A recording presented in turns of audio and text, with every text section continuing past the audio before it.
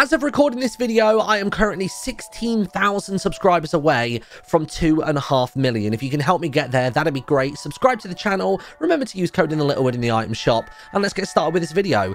Basically, we need to go and find Tony Stark's secret lab. Now, this is all related to the Stark Industries POI, which is this big boy over here. Of course, if you've not seen it before, it's this entire chunk in the top right corner of the map.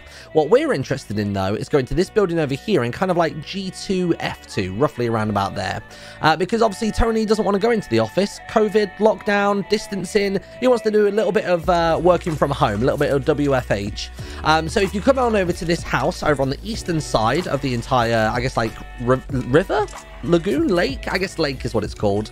Uh, pop inside to the building, and then basically, if you break through the floor, so basically, like, you know, beneath the fire, beneath the sofa, wherever you'd like, and basically beneath here, there is a secret laboratory. And the reason that we know it's Tony Stark's is because the Iron Man suit is chilling out right about there. And that's it. That's all you need to know. Thank you very much for watching. As I said, if you did find this video helpful, like, subscribe, code in the store, and I'll see you all next time.